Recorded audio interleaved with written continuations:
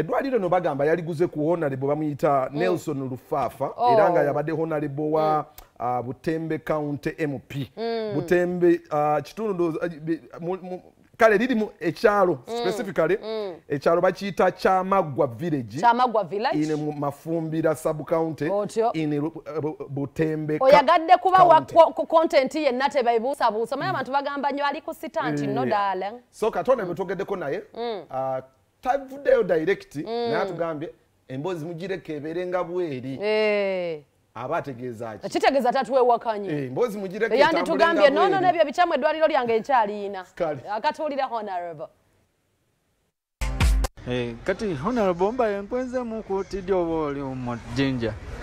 Batubonereze kuki waliwo issues dino edda eddwaliro de tuli kuwulira de nenza okonfamingako direke ditambule nga bwe diri.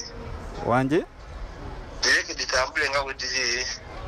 Eh, nga tutwala nti itunde oba bbe nsiyemu mutwale. No honorable nti nenza oklarifyingeko ku just eh? ndakumula ekyo. Ndakubira enkyolo gyo oba mujinja Ah. okay kale lwaki tunoonyeza ku ensonga honorable? z'eddwaliro mugira wabaddewo muzireka ripooti egambibwa nti eddwaliro lino honorable ono bamuwa ssente.